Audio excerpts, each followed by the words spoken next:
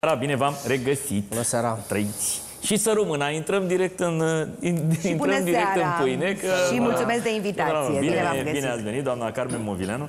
Am uh, ajuns așa în aproape, în aproape, deși cred că trebuia să... Acum am închis cumva circul, dar trebuia să, să începem cu dumneavoastră, pentru că am chemat-o uh, săptămâna trecută pe... Uh, Iuliana. Nu Iuliana Marciuc, înainte pe... Care? Ca, pe Ali, Marina? Marina Marina Almășan. Marina Almășan și zic, cred că ești cea mai uh, uh, longevivă prezentatoare de la TVR. Uh, mi-a zis că e posibil să fie așa, dar aici vezi că mai este și Iuliana Marciuc. Zice, nu știu dacă uh, a avut pauze, n-a avut pauze de emisiune. Uh, bine, ok, am chemat-o și pe Iuliana Marciuc. Eu zic, ești printre cele mai longevive, cea mai longevivă. Zice, Nu, vezi că mai mai este și Carmen Movileanu. Zic, ok. Dar acum, dându-mi seama, trebuia să o luăm invers. Pentru că sunteți în TVR din 77. Din, da, 41 de ani de televiziune. Aoleu, îmi vine să mă ridic să plec. Eu care credeam că am obosit după 34 Una de din Nu vă ani. imagine- uitați, pe cuvânt, n-aveți Din niciun motiv să imagine vă și din, uitați. din frumusețea televiziunii române. Da, Până la urmă. da, Una dintre, da. dintre Da. crainicele Vă mai cele aduceți aminte prima zi? Că Uh, asta Hai le-am să întrebat. lămurim un lucru Vă de la rog, început. vă rog. Dacă mă țineți cu dumneavoastră, doamnă, mă duc acasă. Pentru dumneavoastră, doamnă, nu Bine, era asta este emisiune, altceva, nu era da. o emisiune la TVR Super, pentru super. dumneavoastră, doamnă. Da. Uh, Bine, o să Carmen, încerc ca să mă simt și eu uh, tânără Bine, ca și Carmen, voi. bine, Ăștia bine. care încă mai aveți de tras în televiziunea română. în televiziune în general. Da. Uh, Da. Prim, prima zi, dacă ți-o mai aduce aminte. Practic, eu aveam 4 ani. Practic, eu atunci mă nășteam în 77. Da? Da, în 77. Bine, am m-am venit să ne spunem vârstele, acum sau despre ce vorbim. Bine că sunteți voi tineri. Uh, Păi și tu aveai tot 4 Prima ani. zi, da, și aveam, n-aveam încă 20 de ani. Da. A fost un 1 octombrie și în 17 octombrie urma să fac 20 de ani. Uh, A fost o zi pe care n-am să o uit niciodată. Era o zi superbă de octombrie și am fost întâmpinată de o doamnă, uh, un fel de Nina Jandarova, așa, care a venit și m-a luat în primire de la poartă, o femeie înaltă, plancturoasă, cu o voce puternică, așa, uh, șefa tuturor montezelor din televiziunea română. Pe vremea aceea totul se făcea pe film, pe Da, peliculă pe de peliculă. 16 mm, foarte puțin pe 35, că film artistic în televiziune nu se prea făcea, dar s-au și făcut seriale uh, pe 35. Da. Doamna aceasta m-a luat în primire, eu neștiind exact ce am de făcut după aceea, uh, și m-a dus într-un birou în care am crezut că sunt pedepsită, că am făcut ceva nasol, că e un În, fel de în nana. clădirea aceasta era în, clă- deja... În turn. În turn. În turn la parter. În turn. Uh, nu departe de soldatul care era la intrare, pentru că to- toate intrările pe vremea aceea erau, uh, Erau și, și cu, atunci cu și soldați. sol.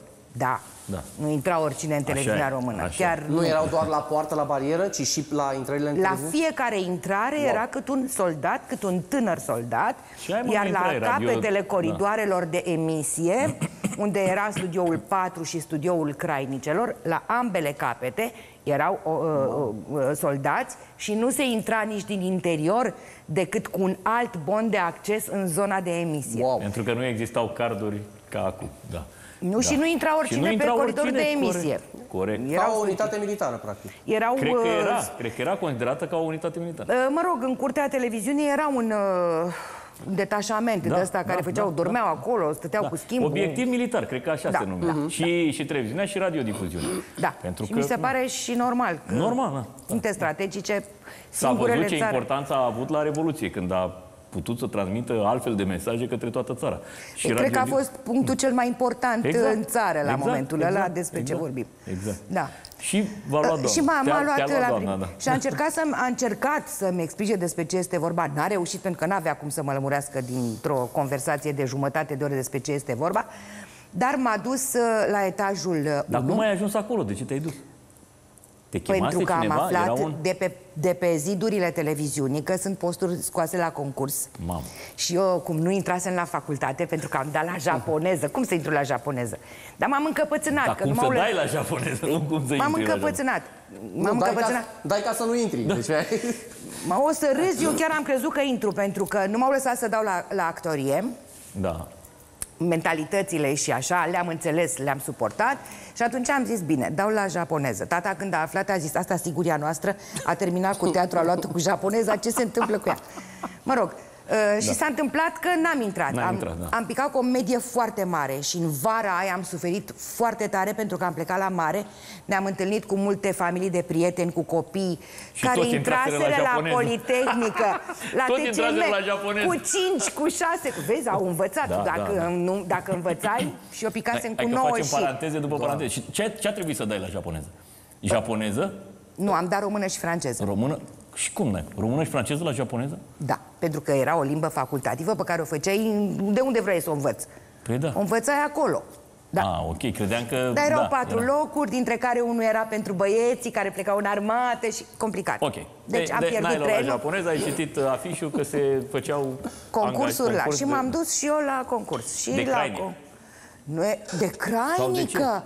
Dar cine s-ar fi gândit în vremea aia că te duci la poarta televiziunii și cer să fii crainică? Păi acum păi, toți doamnele studenții, când eram crainice... eu îndrumător pe la noi, pe la uh, Da, iartă-mă. IMA, Da, toți iartă- când îi întrebam ce vreți să ajungeți? Prezentator. Da, acum aveți și crainice, mă scuzați că întreb. Da, uh, da, da. N-aveți. Prezentatori. Pre- N-aveți nici prezentatori. N-avem. Aveți... e, Da, mă rog. Sunteți noi, pai- Nu numai voi, ci e, e valabil pentru toată lumea. La noi, prezentatorii de știri sunt și redactori. Ei își și redactează Da. știrile, așa că le pot Cred că citi și- de pe cred că prompter și că, la le-au noi- scris și cu la mâna voi la lor. știri e la Și fel, la voi da, la mă știri, rog, cred da, că e la da. fel, da. Da, la noi Mă rog, da. cert este că această doamnă trebuia să mă instruiască în zona uh, montajului de film Mhm. și să mă ducă, uh, să mă pregătească ca să mă pot prezenta la un concurs. Nu Da. eram singura în situația asta. Eram vreo patru. Foarte puțină lume care venea și mai puțină care rămânea. Adică Corect. din patru am rămas una. Da. Era muncă multă, nu? În spate. Era atât de frumos Da. încât nu mi-am dat seama dacă a fost foarte multă muncă. Uh, În primul rând că totul era foarte nou pentru mine. Să mă intersectez uh, în fiecare zi cu persoane la care mă uitam pe micul ecran și spuneam "Acum, și să stea Asta lângă zic și eu, Carmen... asta este un dar de la Carmen, Dumnezeu, da. da, da, uh, Dob- uh, Dobrescu, Carmen Dumitrescu, Dumitrescu. Ștarc, Cornelia Rădulescu, Anca Fusariu, niște nume care au însemnat uh, valoare pentru media românească. De Așa e. acolo încolo a curs tot ce se întâmplă astăzi pe piața media din România. Cred că mai Ei era au Alexandru fost Boconesc, școala. cred că mai era uh, Tudor Vornicu, nu mai erau? A, E- sigur că erau. era. Da, sigur da, că era, da. sigur. Da, Vorbesc de zona asta în care m-am dus eu la A, ok. montaj. Pe Da. Tudor Vornicu l-am întâlnit mult mai târziu în cabina de montaj, pentru că uh, uh, d- perioada despre care îți vorbeam eu eram o mucoasă, habar n-aveam. Nu știam despre ce e vorba de niciun fel. Mi-a trebuit ceva timp, am stat niște luni bune să uh, înțeleg ce se întâmplă, nu era ușor. Să zic că nici atunci nu erau atât de generoși încât să vină cineva să spună, e, ia, stai așa e. aici că De-aia te se învăț. spune, Nu. că meseria se fură, că nu ți-o Dar- explică nimeni, da. Atâtea întrebări am pus încât nu știu, de ce, nu știu cum de-am scăpat să nu, mi să, să nu fiu I-ai poretită, căpia pe dar oameni. de ce, dar de ce, de ce? Exact ca ăia mici care da de ce. Da. Pentru că altfel nu aveam cum să aflu ce se întâmplă acolo. Tainele montajului Da, da, da. Însem, sunt extraordinare. Acolo este televiziune pură. Așa e. Ehm, Din păcate, editorii de montaj astăzi nu mai respectă ehm, canoanele montajului de film de altă Nu-mi dau dată. seama că n-am, dacă n-am, Este- n-am evoluat în zona asta, nu știu care e este o, diferența poveste, între este o poveste peliculă extraordinară. și, Ei, Este și... o poveste extraordinară, fascinant. Mie mi-e dor de mirosul de peliculă. Um, Da, da, acolo dacă tăiai greșit, ăla era. Păi, dintr-o, dintr-o filmare bună puteai să faci o porcărie la montaj, cum și invers, dintr-o filmare proastă, dacă montai bine, Da. Așa puteai e. să faci o mică bijuterie. Așa e. Dar acolo lucrai și cu imaginea și cu sunetul ca monteză. Era extraordinară. Meseria asta a fost... Asta m-a învățat uh, ceea ce înseamnă emoție, Mhm. ceea ce înseamnă atenție spre ecran și ceea ce înseamnă limba română. Pentru că în foarte puțină vreme, după Mhm. toată aventura cunoașterii, am ajuns să lucrez la teleenciclopedie. Mhm. Și să mă întâlnesc cu Dinu Ianculescu și cu vocile care au însemnat... Celebre, celebre. Uh, Și iată-mă și pe mine la 37 de ani de lectură la teleenciclopedie, încă în fiecare ediție și, Cred a, că, și este, acum. cred că este cea mai longevivă emisiune, nu? Da, ea și viața satului. Și viața satului. Da. Doamne ajută, la mulți ani, mulți Doamne înainte. ajută, le doresc uh, viață era lungă oaza, și- Era oaza pe vremea lui Ceaușescu, oaza aia de, de Exact. libertate, teleenciclopedia. Adică nu, nu Să știi pierdea. că a rămas sâmbătă la aceeași oră. Sâmbătă la aceeași oră. Are același generic? Același Recunosc că generic în altă m-am mai uitat, interpretare. da. În altă. Da. Extraordinar. Da, da. Extraordinar. Telecine, teleenciclopedie este la Cinemateca. Sunt două generice pe care cred că o să le aud și pe, pe patul de moarte. Da, da. Le- Uh, Și ce mai are teleenciclopedia, în plus de tot ce înseamnă documentar uh, la Da. vedere pe canalele de specialitate, aici chiar se păstrează formula clasică de documentar. Da. Montajul acela serios, adevărat, nu fușerist și Se cu... mai face în TVR sau se preia gata montat? Vin filme Vin- uh, vin luate gata? de afară, Da. dar se cumpără cu drept de editare și ele pot să le remonteze, pentru că, uh, spre exemplu, se, sunt bani puțini în televiziune ca să cumpărăm filme. Și atunci, dintr-un serial de patru episoade, noi facem uh, șapte episoade. Da, da, da, înțeleg. Ce era tare la teleenciclopedia că știai mai mult vocile decât uh, fețele. Era Florian Pitiș incredibil, și mai Florian era Pitiș, da. absolut- Aveai impresia că te mângâie cineva pe, pe, Da, pe, da, da, pe, pe da. suflet, așa. Da. Deci vocile alea nu o să le uiți niciodată. Dacă nu Asta știi zic, personajul da, și da, auzi aia vocea... A fost emisiune, o Da. emisiune emblematică și bine că, bine că este, Da, că este da, în continuare, pentru că întotdeauna noi am crezut că în televiziune constanța aduce, aduce succesul. Adică dacă te apuci să schimbi formate la fiecare sezon, uh, nu prea. Da, nu prea. eu cred că este valabil pe sezoane lungi în fiecare televiziune, pentru păi că... nu, nu zic la TVR, zic în televiziune Sigur, în general. în televiziune în general, Trebuie să ai răbdare cu producțiile și să le păstrezi pe cele emblematice. Știi că noi numim Constanță, dar de fapt este o fidelizare. O fidelizare a fidelizare de publicului. idei, de format, și de a, oameni. Și a publicului. și de oameni. Da, da, pentru da, că o figură nu se fidelizează ușor Așa e. să-l faci vedetă peste Așa e, noapte. da. Nu. De Cum ce că- nu țin minte atâtea nume uh, câte țineam minte înainte? Mă scuzați, dar nu țin minte numele. De ce? Că sunt prea mulți. Nu, nu transmit. nu transmit. Și Nu că sunt transmit, prea da. mult neaveniți. până, la, până la această parte a discuției că uh, aș fi vrut și aș vrea să, să atingem cumva și uh, această, să reali, ne realizezi această paralelă cum, cum te mai regăsești, sau dacă te mai regăsești în televiziunea de acum, mă rog, sau mă rog, în ultimii ani uh, în care ai fost foarte activă. Aș vrea să ne spui cum ai ajuns crainică. Uh, Crainica a fost Adică de undeva din spate să faci pasul către... Uh, A fost un moment uh, în ianuarie, nouă, în jumătatea lui ianuarie 90, Wow. Când în studioul 5, unul dintre cele două studiouri Da. ale Crainicelor, 5 era pentru programul 1, 6 era pentru programul 2, uh, au apărut tinere domnișoare dornice să devină crainice. Habar n-am după, re- avut... după Revoluție. Da.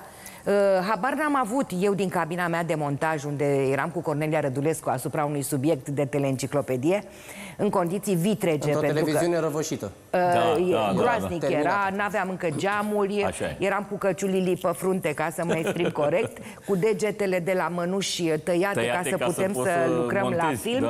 da.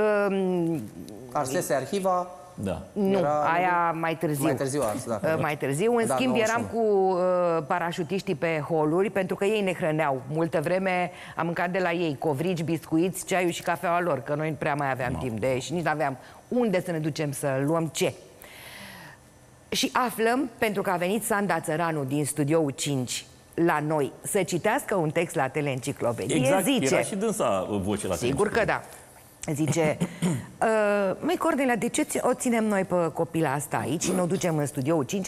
Că acolo este ceva, câte tinere domnișoare au venit să devină crainice și ce. Uh, ea știi că trebuie să meargă în studioul 5. Da- Dar tu de unde știi? Păi am auzit discuția din regie, din regia studioului. Și n-apucăm bine să terminăm conversația și sună telefon. Interiorul, da? da, da, da. Uh, la telefon, Bebe Ciurăscu. Mamă. Să vină Carmen în studioul 5. Cel care uh, era pe vremuri, nu? Ce Foarte anume? apropiat. Era uh, responsabil cu tot ce apărea despre familie. Mă rog, puternic. Da, Ca- el era da. șef la externe. Exact, da. Da? Mă Da. rog. Deja se formase așa un, uh, o celulă de criză ca să se reorganizeze un Da, pic. da. Uh, Era un haos total. Vă dați voi seama cam ce se întâmpla atunci. Nu știa nimeni Da. ce are de făcut. Uh, Degeaba se comentează și răutăcios astăzi. A, nu, nu, că... n-am, zis- n-am zis-o Nu, nicio, nu, nu, în nicio, general, Dar știu că că el nu- era la toate vizitele uh, mă rog, familiei Nu. și ale partidului. Da, era da. crainicul oficial, era Nu, prezentatorul. nu, vorbesc de uh, atmosfera de Ah, atunci. ok, ok. Uh, Degeaba se comentează că telefonul roșu, că firul, că... Na. Băi, frate, totuși, totul s-a făcut acolo, nu știu cum, ce fel, noi Da, am, am murit acolo cu toții. Așa e. Da, asta este. Și se format, s-a format o celulă de asta de criză, Mhm, de reorganizare, pe care o gestiona și Bebe Ciurescu, dar și Cristian Țopescu, Da. dar și uh, Stoica Meteleanu, care era tatăl Da. crainicelor, cum îl numeam noi, tatăl, tatăl nostru. Da. Uh, La butoane era Marijan Gherghinescu, mi-aduc aminte, Marijan Dumnezeu Gherghinescu. să o ierte, Doamne Dumnezeule, și un Alte un nume- detașament alte de nume fete cele- hotărâte să vină să uh, arate ce frumoase și deștepte Să sunt spargă ele. sticla. Cu niște texte în mână să se pregăteau să citească de pe... Și zic, bun, și eu de ce să mă duc acolo? Eu eram cu căciula așa, Da. cu col ruleu, cu canadiană. Cum să mă duc eu în studio să fac? Ce să fac eu în studio crainicelor? Pentru mine crainicele erau niște doamne Dumnezeu, pe da, care da. să nu le atingi nici cu o floare. Adică noi din interior nu Da. ne intersectam cu ele. Ce să caut eu în Erau studioul la fel de mari crainicilor? vedete precum uh, vedetele de film și de teatru ale noastre. Plus că, da. așa cum v-am spus, pe coridorul ăla nu puteam să intru decât dacă aveam un bon semnat. Păi să-mi semneze un bon cineva ca să ce? Da. Să spun, mă duc să o văd pe Santa Țăranu. Cum să spun chestia asta? Sau Corect, Pe... Nu. corect. Uh, și Sanda zice, uh, eu zic să nu mai e așa, du-te și tu la machiaj să... Ce să facă ăia de la machiaj din Cu mine? Că căciulă. eu eram... Ce... În fine. Acum eu în studioul 5 fusesem, pentru că de multe ori vocea la teleenciclopedie n-apucam să o înregistrez și să o dau pe film în, în emisie. Mă duceam și, puneai în citeam direct. direct. Cas, casca pe urechi, Exact. lumină de lectură, nu tușeam, nu foșcăiam, nu nimic, citeam. Ca să nu pară exact, ca să fie... Păi, ca să, Ca la montaj. Și cu textul, pentru că eu îl montasem, știam despre ce e vorba, mă Știai uitam când să intervii, și da. știam exact unde e pauza, ce și cum. Dar nu tușeam, nu respiram, nu Mamă, plescăiam, nu Foarte nimic. greu, foarte greu. E frumos, Foarte este greu. foarte Frumos, frumos, e o adevărat, provocare da. extraordinară. Da. Iubesc și acum chestia asta de nu e adevărat. Păi îmi, îmi place cu ce pasiune povestești. Este o nebunie.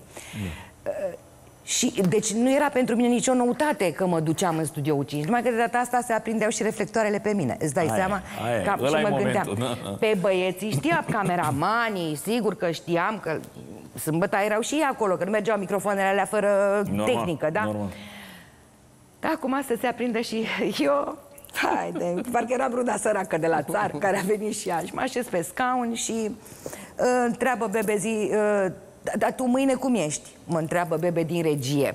Da. Și eu zic, eu sunt în fiecare zi cu Cornelia la serviciu, dar nu înțeleg care e problema. Cu ce te încurcătura mea?